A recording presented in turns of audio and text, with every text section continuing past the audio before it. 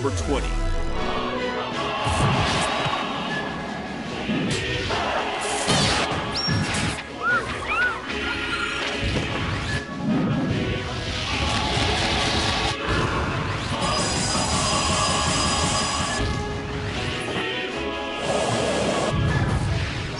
Super Smash Bros. Melee had sold 7 million copies in advance of Brawl's unveiling, so diehards watching this video knew that this was just a small taste of the iconic heroes that would eventually be on display in the final product. Most great trailers have one, maybe two amazing reveals. This one scoffs at such puny expectations. Meta Knight, Pit, Zero Suit Samus, and Wario are given intros that truly befit their legacy.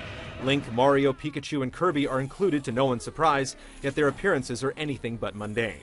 Nintendo has been known to be crafty in its trailers before, but it's never had so many announcements rolled up into one zany comedy filled piece of media. The final sneak attack comes at the end when Solid Snake crashes the party. 偵察に夢中だ偵察一体何を敵を知ることこそ勝利への近道だからな Number 19.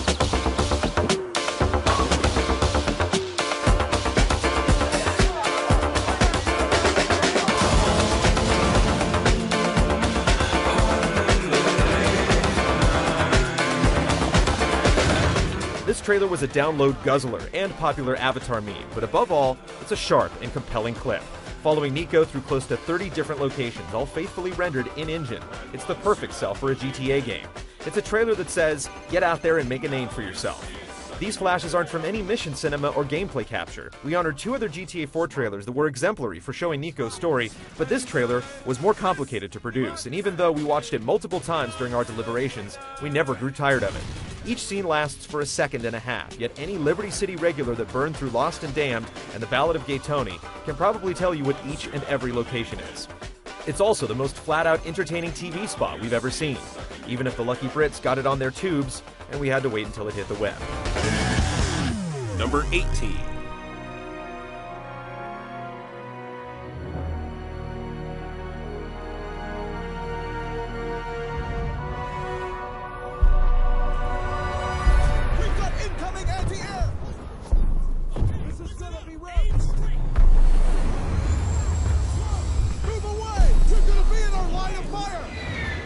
Every trailer aims to make a game seem better than it actually is, and pre rendered footage produced on a supercomputer can often go a long way toward achieving that goal. Animating your trailer to look exactly like gameplay while not saying it's really one or the other can also be viewed as a little devious.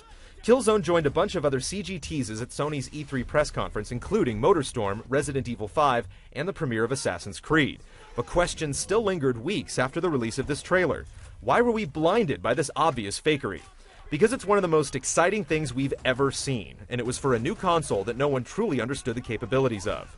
There are only two cuts throughout this two minute assault, and the perspective is tugged constantly in each direction.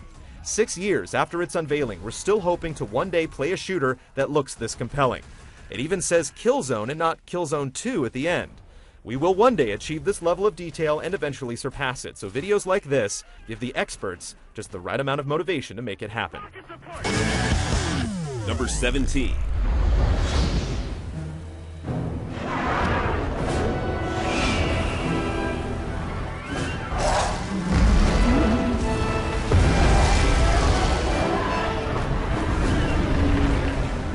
Some animated game introductions tell the first chapter of the story, and others create a collage of the best moments or mechanics. This baby does both, and better than games released six years later dare to dream.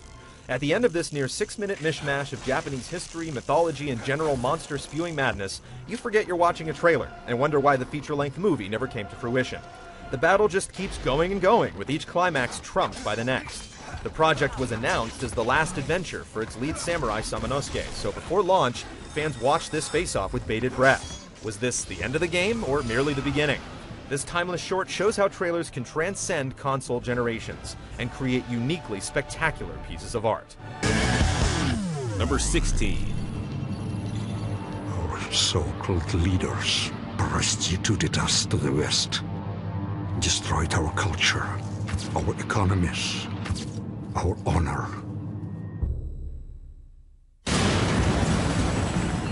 U.S. Marines stationed on high alert were given the order to invade the small This trailer is like a big epic onion of awesome that you have to peel the layers off to see what makes it so great. On the surface, it was a convincing way to sell the direction Call of Duty was marching in. The trailer shows almost the entire game in brief flashes, yet it feels like each two or three second clip is some high level reveal. Below this is the game's atmospheric story, dangled in front of us with flashes of mass execution and untranslated Russian ranting. Looking even further inside, you'll notice the care that was taken in selecting not only each moment, but where the camera would be placed and moved to show it. Anyone who's played Modern Warfare can attest that this trailer does not lie. All of this action is present and accounted for in the final game. Call of Duty has always used its emotional, nationality driven gameplay to sell the experience, but with this cut, the format is honed into one of the most blood pumping edits we've ever seen. 15,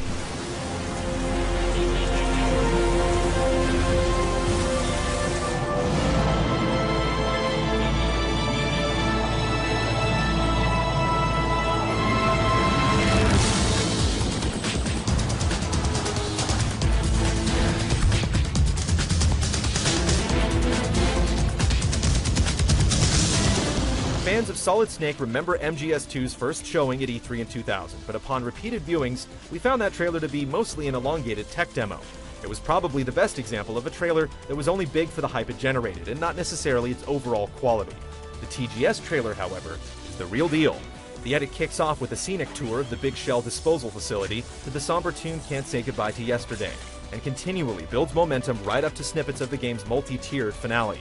In hindsight, Snake's inclusion in the trailer is pretty sneaky, considering he never participated in some scenes in the actual game.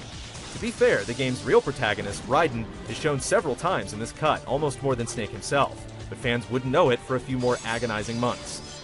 Nowadays, it seems impossible for Kojima to resist taking each MGS trailer way over the deep end. Out of all Metal Gear media, this edit completed its mission most efficiently.